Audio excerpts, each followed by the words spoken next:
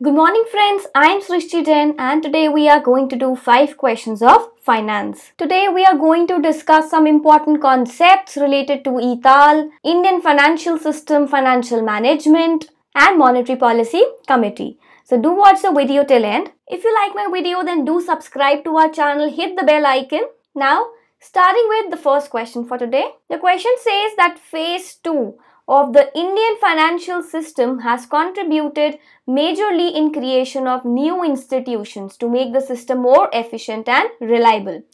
Which of the following statement is associated with the financial structure of the industrial enterprises in phase 2? So guys, phase 2 started from 1951 and it was till mid 80s. Now let's see what was the scenario in phase 2 regarding the industrial enterprises and then we will be in a better position to answer this question. So guys, during the strengthening of the financial structure, development financial institutions were established and the first DFI was established in the year 1948 and that was IFCI that is Industrial Finance Corporation of India and then further in phase 3 it was privatized and converted into a public company. Then after when the DFIs were formed, they maintained a dominant position in the Indian financial system and they were formed to give term loans to the industrial enterprises. And term loans are basically the long-term loans. So as more and more DFIs were lending to the industrial enterprises, the capital structure of the industrial enterprises were full with the debt that is a long-term capital and they turned out to be equity-less structure because there were no trading on equity followed by the enterprises and they took more and more of the borrowings by DFIs. So then industrial corporations begin to default as they were not in a position to repay back to the DFIs and then eventually DFIs were in the problem. And maybe this was the reason that in phase 3 some DFIs were converted and privatized. So now let's move back to the question. The question says that enterprises experienced debt-less structure which is wrong because they take more and more of the debt by DFIs. Then the second is that they experience equity-less structure. So yes, this is the answer, option B. The C part says that enterprises focus upon trading on equity.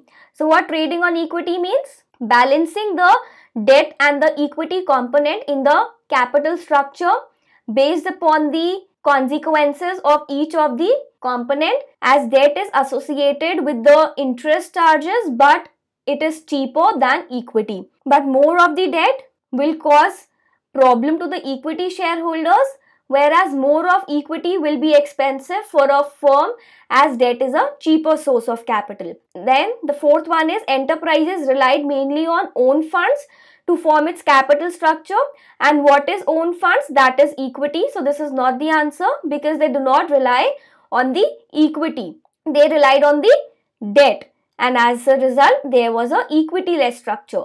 And the fifth one is that enterprises relied mainly on the foreign funds. So this is also not true. So option B is the correct answer over here. Now moving on to the next question for today. Department of Electronics and Information Technology, Ministry of Communications and Information Technology launched eTaal dashboard for providing a real-time aggregated view of e-services. Now choose the correct statements regarding eTaal. So you must be wondering that what eTaal is. So eTaal is the electronic transaction aggregation and analysis layer. So it is a public service developed by the India's National Informatics Center to measure the impact of various e-governance initiatives at the national and state levels. And as an indispensable analytical service, it also provides an integrated visual interface providing a real-time view of the e-transactions taking under various e-governance applications implemented by the government in an easily understandable visual graphic. So now let's read the statements. Firstly, it is a platform for dissemination of e-transaction statistics of the national and state level e-governance projects excluding the mission mode projects. Then we have eTaal automatically pulls the e-transaction data from the application integrated with it using the web service technology and facilities quick analysis of the transaction data for the user. And lastly, Andhra Pradesh tops the top 5 states in e-transaction count. So, firstly, let me tell you the answer and then we will be discussing some important facts about eTaal in the next slide. So statement 2 and statement 3 are the correct ones. So that is option C is the correct answer. Now you must be wondering that why not 1? Because it says that it is a platform for dissemination of e-transaction statistics of the national and state level e-governance projects excluding the mission mode projects. But it is including the mission mode projects. Now we will be seeing that what mission mode projects are. So guys, Mission Mode Projects is an individual project within the National E-Governance Plan that focuses on one aspect of the electronic governance. That may be banking or the land records or the commercial taxes. Now have a look at this graph, it is the e-transaction count in crores and Andhra Pradesh tops the top 5 states here. So that is statement 3 that we have said that Andhra Pradesh tops the top 5 states in e-transaction count is correct. After Andhra Pradesh, Telangana is there, then Gujarat, then Kerala and then Uttar Pradesh. Now, Moving on to the next question for today. The question says that with reference to the Monetary Policy Committee, Consider the following statements. First statement is that MPC determines the policy rates required to achieve the inflation target. Second statement says MPC was given statutory basis by amending the Reserve Bank of India Act 1934 and the third one says that Reserve Bank's Monetary Policy Department assist the Monetary Policy Committee in forming the monetary policy. So yes, all the three statements are correct and therefore our answer is option E.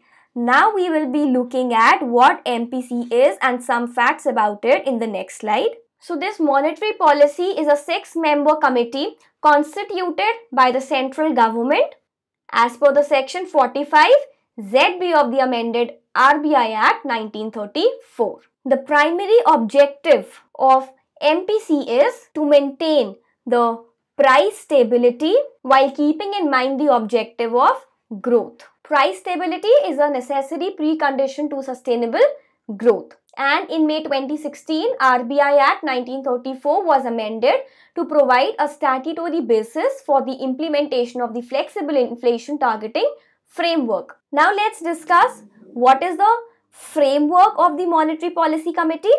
The framework aims at setting the policy rate that is a repo rate based on assessment of the current and evolving macroeconomic situation and modulation of the liquidity conditions to anchor money market rates at or around the repo rate. So repo rate changes transmit through the money market to the entire financial system which in turn influences the aggregate demand which is a key determinant of the inflation and growth. Now we will be discussing the instruments of monetary policy so there are two kinds of instruments. First is the quantitative types also known as a general or the indirect one and next is qualitative which is selective or we can say direct.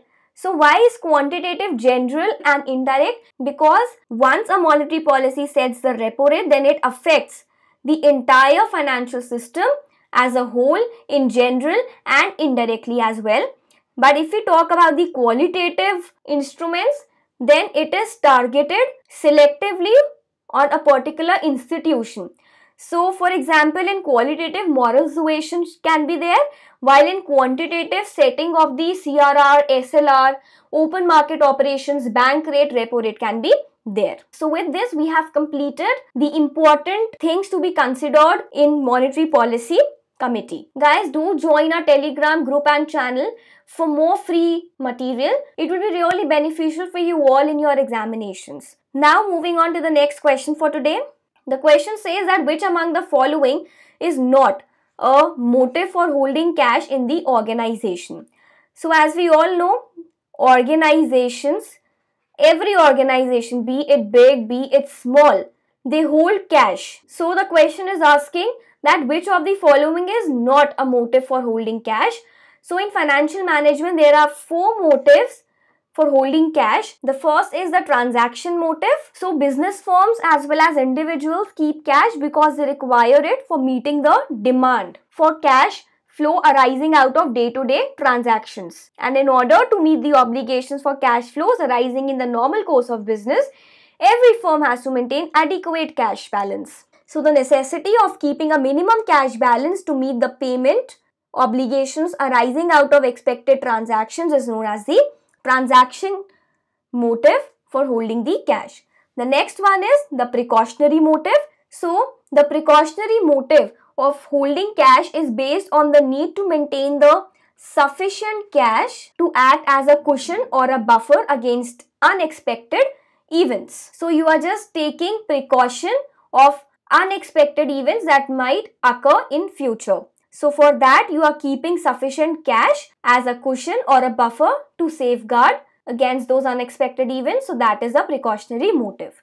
Now we have the speculative motive. So cash may be held for speculative motive also in order to take advantage of the potential profit making situations. For example, a firm might have an opportunity to purchase the raw materials at heavy discount if paid in cash. So to take the advantage of such potential profit making situations, speculative motive of holding cash is there. Then we have the compensation motive. So what is compensation motive? Now as we all know that if we open the current accounts in some bank, then there is a minimum amount, minimum balance that we have to keep it. It may vary from rupees 5000 to rupees 10,000. So this amount remains as a permanent balance with the bank so long as the current account is operative and in order to avail the convenience of current account, the minimum cash balance must be maintained by the firm and this provides the compensation motive for holding the cash. So these are the four motives and therefore here our answer will be the profitability motive. That is option D. Now moving on to the next question and the last question for today. The question says a company ABC Limited is required to maintain adequate working capital in order to be successful amid competition. Managers of ABC Limited is finding it difficult to find the amount that should be kept aside as the working capital. Which of the two factors is considered by the managers of ABC and is regarded as the risk return trade-off. So guys, the risk return trade-off involved in managing the firm's working capital is the trade-off between the firm's liquidity and profitability. We know that a firm must maintain enough cash balance or other liquid assets so that it never faces the problems of payment to liabilities. That means it should maintain enough working capital with itself.